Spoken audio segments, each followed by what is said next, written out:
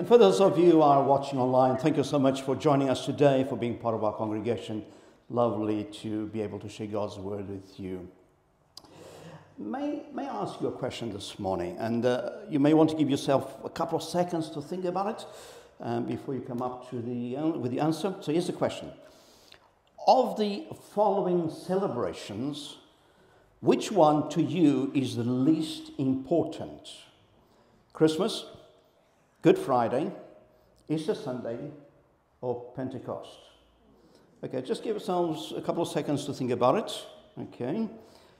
Um, and let's go through it. So, for let's just show hands. For which one of you would be the, the least important? If this is it, just put your hand, your hand up. Christmas? Okay, least important. Okay. Good Friday? Okay. Easter Sunday? Pentecost? That's kind of a tough one, isn't it? Okay. you see, many Christians, because of our congregational and cultural emphasis, um, the first three probably would be the ones that we would look at, and we would say, well, if, if I really have to choose, I probably would put Pentecost in that list, okay? But just think of the following without Pentecost, the other three dates would not be celebrated at all. There could not have been a Good Friday without the advent of Christ coming to earth, something which we celebrate at Christmas time.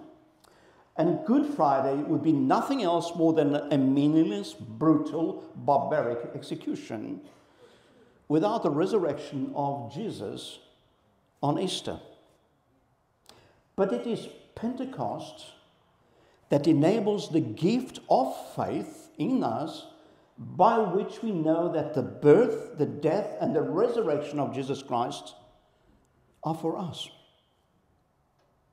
Soon after Jesus ascended to heaven, he gave us the gift of his Spirit to live in us. And this Sunday, we celebrate Pentecost. We celebrate the arrival of the Holy Spirit to live in us as we become believers. Yes, yes, I know that we may not have the exact date of what happened 2,000 years ago. Uh, I can't tell you that Pentecost happened on the 28th of May, 33 AD. Uh, we know that Easter changes every year because it's based on the lunar cycle, and Pentecost is linked to Easter, and so it changes every year. Pentecost happened 50 days after uh, Sunday Easter.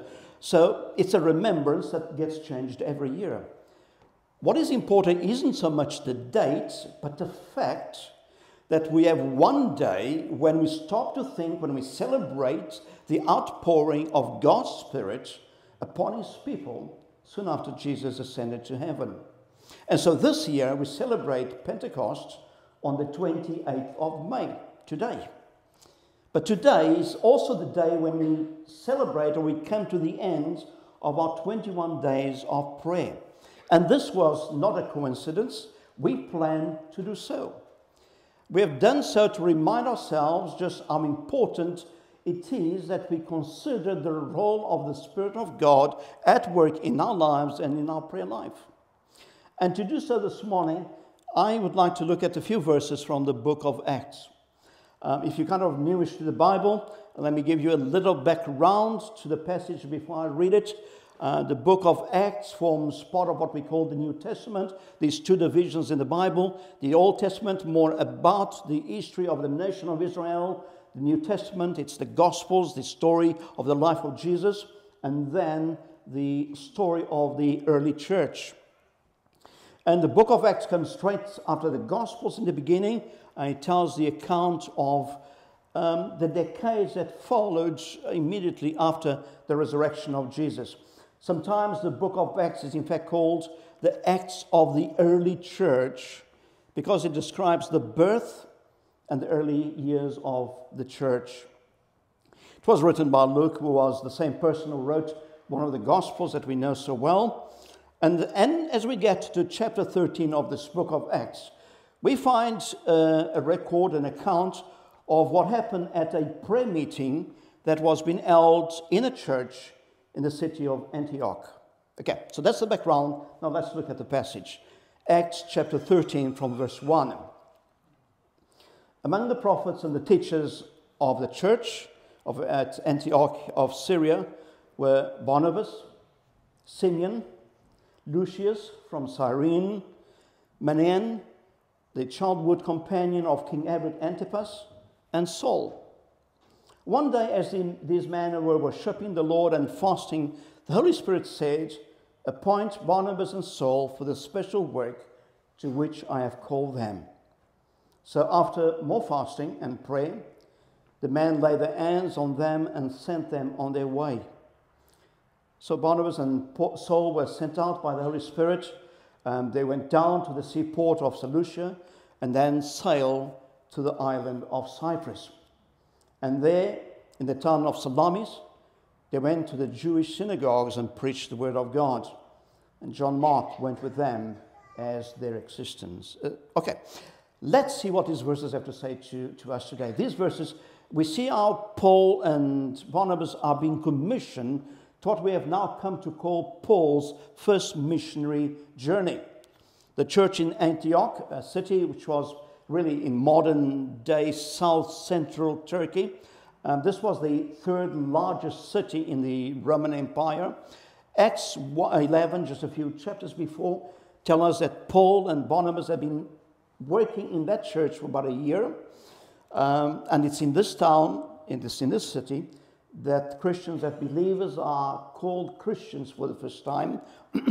now, in Acts chapter 13, we see the end of Paul and Barnabas' time working in that church.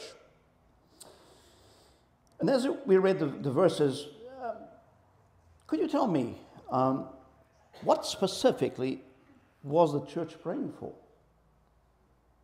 We can't. The text says who was there. It lists the prophets and the teachers who were praying together.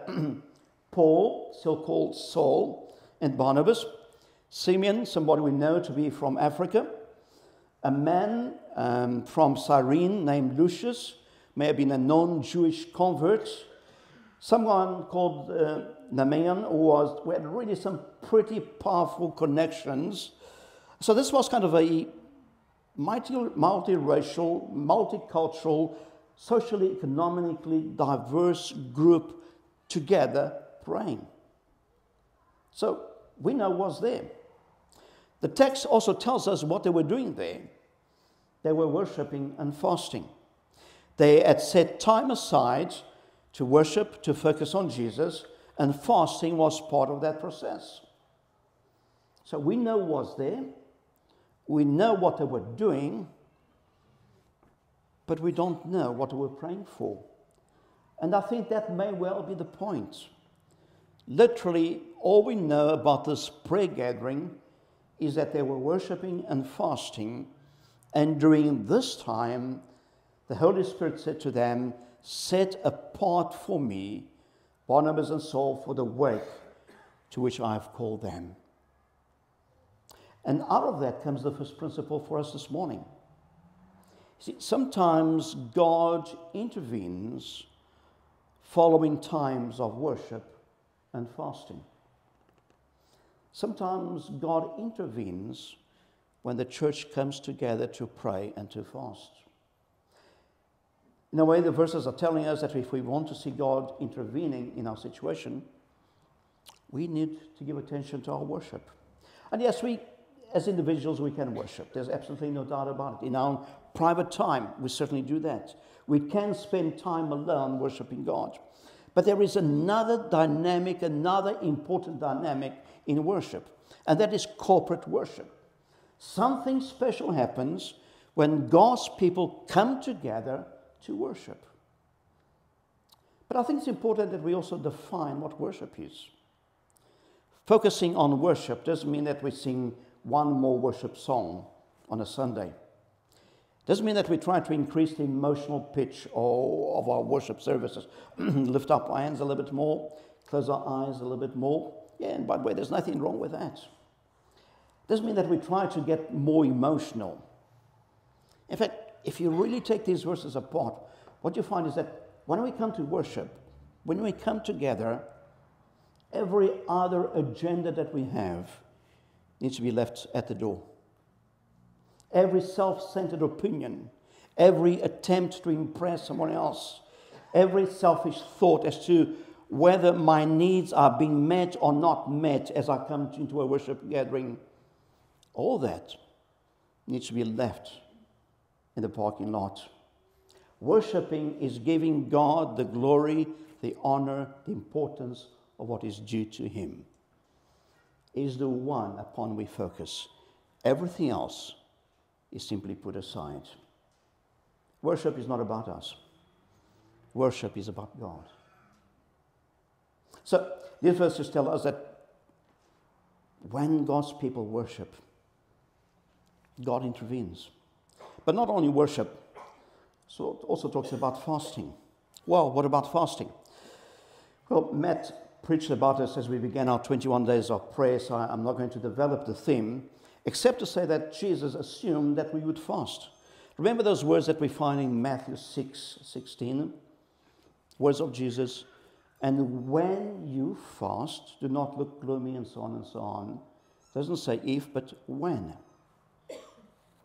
So, what are these verses saying to us today?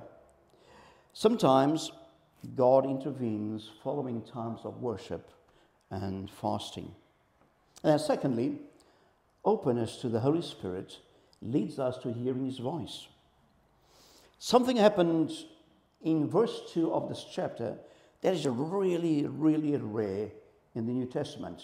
We get a direct quote from the Holy Spirit. In fact, as far as I know, there's only one other person in the New Testament where we find a direct quote from the Holy Spirit. That's when the Spirit told Philip to go and meet the eunuch, and there was an evangelistic conversation taking place.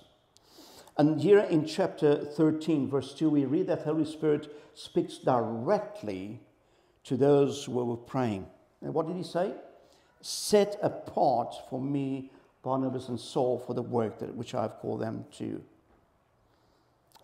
How did they know that the Spirit was talking to them? Did they hear an audible voice from heaven? We really don't know. What happens though is that it was so clear that is mentioned in these verses. Now, it's worth asking the question why doesn't that happen more often? Wouldn't it be so much easier if the Spirit of God spoke to us in an audible voice? Just think of how many bad mistakes we would have been saved from if the Spirit just spoke to us once in a while in an audible voice. The truth is that the Spirit of God does speak to us. Yes, may not always be, in fact, it's not in an audible voice, but it does speak to us. Sometimes it is that strong emotion that, that tells us that we need to do or not to do something. It is such a strong sense that we know that we have to respond to it. But most times I believe God speaks to us in another way. The author of Hebrews says this at the beginning of his book. Long ago, at many times and in many ways, God spoke to our fathers by the prophets, but in these last days, he has spoken to us by his Son, whom he has appointed the heir of all things, and so on and so on. So when people say that God does not speak to me, the answer is that God actually does speak to us. He speaks through his Son, he speaks through his spoken words. In fact, let's face it, if we heard from God in sort of audible form very often, then we would begin to think that this was the best way to hear from God. And eventually we would think that this was the only way to hear from God. We would stop looking at what Scripture has to say. We would stop learning from the life of Jesus. And we would start putting all our faith in the words that anyone would come to us and say, I have this direct message from God.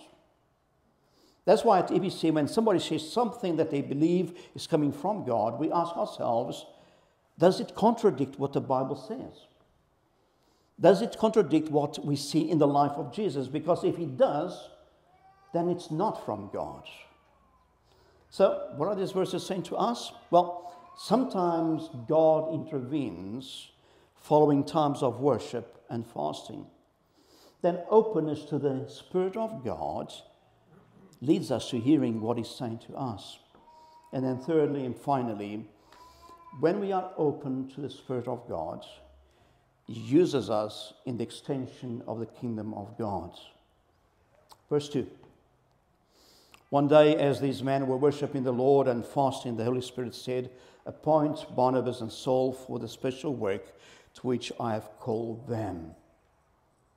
And after more fasting and prayer, they laid hands on them and they sent them on their way.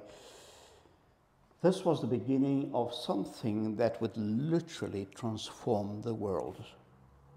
As Paul and Barnabas and Mark, John Mark go to Cyprus, they begin what we now call Paul's first missionary journey when a number of churches were planted. At one aside, um, as we look at this name, uh, as we look at these verses, we know that in doing this missionary journey, John Mark left the others halfway through it and he returned home. We don't know what happened. We don't know if he just missed home. We really have no reason. What we do know is that Paul was less than impressed with the actions of John Mark. And so when the second missionary uh, journey began to be planned, and there was some interest in taking John Mark again, Paul would have none of that. No way on earth was he going to take him. In fact, Paul was so anti John Mark that he and Barnabas had this massive argument, and they ended up going in different directions to plant churches. And John Mark, um, was that the end of him? Well, not quite. In fact, you may have read quite a bit of what was written by him. Years later, he wrote the first gospel that we have, the Gospel of Mark. So don't ever think that because you may have missed in the past that God will not use you again. Back to Paul's first missionary journey. That was followed by the second missionary journey, which we read in Acts 16. More churches were planted, and more areas of the Roman Empire were reached. And the Church of Jesus Christ hasn't stopped growing since then. Today, around our world, around 2.5 billion people have met or will meet to worship Jesus Christ. When we open to the Holy Spirit, He uses us in ways that extend the kingdom of God. Okay, so far so good. What do these verses say to us this morning? We all know that God is wanting to do a new thing among us as a church. We've been feeling this for the last two years, but there seems to be kind of an urgency, a sense of urgency about it. That God has been speaking to so many people in our church, all drawing us to the same conclusion, to the same thing. The image that God is wanting us to move from our current situation into something that is planned for us, which is so much better. You still remember the image of sheep being moved from one field to another where pastures are much greener. How I shared with you last two Sundays ago, how God was saying this to two ladies in a totally different context, with two years apart from each other. At the end of that Sunday, um, one of the men in our church came to me and he felt that God was saying that the ground of the field where we are at the moment is hard, it's not producing as much as we like. But new fields, the ground is soft and, and fertile and it will produce so much more. And is that kind of what we've been feeling? We've prayed, we've done things and so on, and we see some results here and we see some results there, but we so long for that real harvest. Let me end by sharing something which is kind of personal. I don't often comment, and certainly not from the stage how I'm feeling. Um, today I'm going to make an exception, okay? And if someone had to ask me how I'm feeling, I'll have to say I'm feeling somewhat tired and I'm physically and emotionally tired. I've got a couple of weeks coming up in June and boy, am I so looking forward to it. Um, you may have heard me saying that taking church through COVID was not fun and the demands of those days uh, were not fun. But I can tell you that taking the church out of COVID has been far more demanding. No ministry uh, teaching ever prepares you for the things that we went through the last few years. But having said all that, I also need to tell you that in, in the 30 odd years that I've been in the ministry as a pastor, I have never felt such a deep sense of excitement and anticipation as I've been feeling lately. I am so convinced that as a church, we are at the brink of something that is going to be so great. The prayers that are being prayed, the commitment of God's people. We heard the finance of God's people have sacrificed so much over the last few years. And there's been this real desire. And I am so convinced that we are at that moment of stepping out in faith. And not talking about more programs and events or anything like that, more of a visitation of the Spirit of God among us, seeing people being saved. How many of you have been praying for family members for so long? Don't we want to see that? Seeing lives being restored. How many relationships do we know that really need to be restored? Seeing prayers being answered. Seeing God doing a new thing among us. In a couple of moments, we, we're going to end our time together. In fact, we are not even going to sing our last song because the time is going by. But I'd like to ask you to do something for just a few minutes before I finally close in prayer and then we, we go home and we have our coffee and so on. I'd like to ask you that we spend just a few minutes in the quietness of this moment asking the Holy Spirit to meet with us as a body of believers. And for some of you, this may feel mm, somewhat uncomfortable. it's not quite the type of thing that we're used to. But this morning, will you give yourself permission to just let go a little bit and maybe let God have a little bit of you? A few moments asking the Spirit of God to meet with us as a body of believers. In a couple of seconds, you're going to see the words of a song that we sing in our church. Let's allow these words to be our encouragement this morning.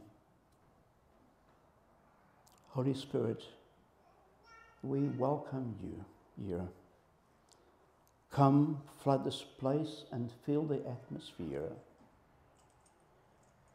Your glory, God, is what our hearts long for to be overcome by your presence. Lord, Holy Spirit, you are welcome here. And so, in the quietness of this moment, won't you simply come before God and say, Spirit, I'm open, I'm here. Come visit us. Father, as a group of your people, there is in us, among us, this deep sense of knowing that you are moving us to something new. There's such a sense of expectation at the good things that you have in store for us as a church. Lord, even I pray that, as I pray that, I realize that the call is upon us as you bless us, for us to be a blessing to this town and to those around us. But I realize that we can only do that as we are empowered by your Spirit. And so come, Spirit, this morning. Fill this place, this group of people with your power. And then send us out to the work of the kingdom of God. In Christ's name, amen.